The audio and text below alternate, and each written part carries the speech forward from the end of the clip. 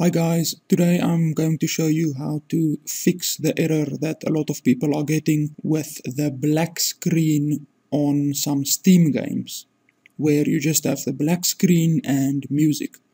So first we open up the game. I'm going to use Blackguards as an example here.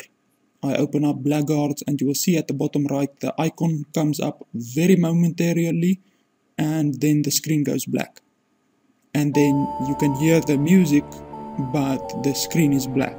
All that it says is just it's black. On some monitors you might get a no signal error. On your monitor it will say no signal or invalid input.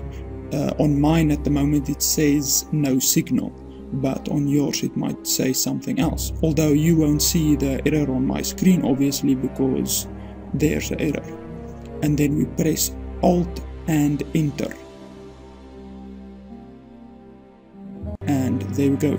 The screen goes to restore mode and you can then change your resolution. I'm going to show you another game again. This game is Shadowgate. And once again we run Shadowgate. We run it and at the bottom right the icon will come up very momentarily and then the screen just goes black. And then once again we have the music playing but the screen is just black. And what we do again is we press alt and enter together and that then brings the game to restore mode restore screen actually.